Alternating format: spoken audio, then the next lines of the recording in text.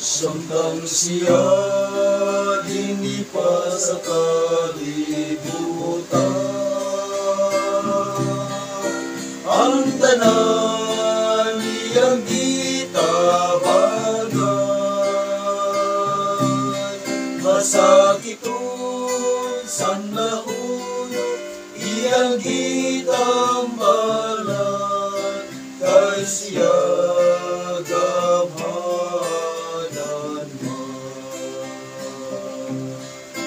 Si Jesus nga atong kasandigan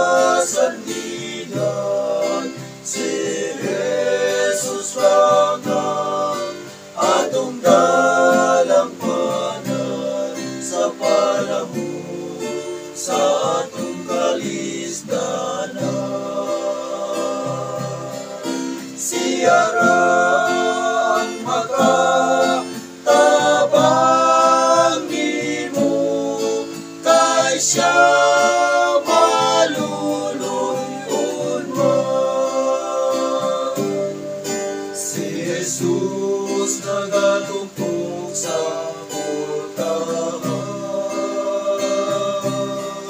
Gusto siya makigubali mo.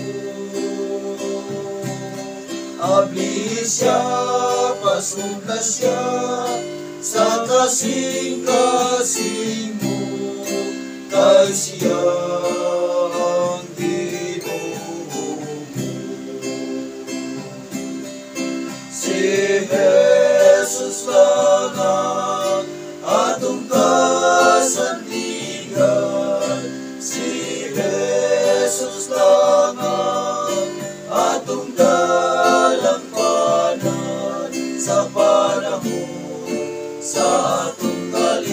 kalisdanan Siya ra ang makatabang nimo kay siya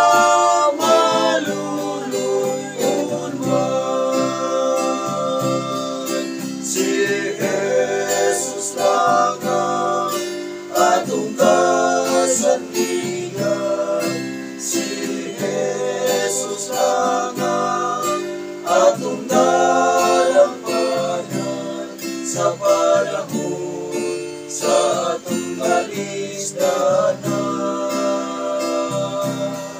Siya ra ang makatabang nimo kay siya maluluyon kay siya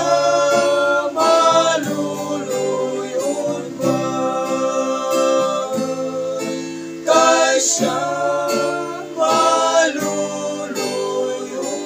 man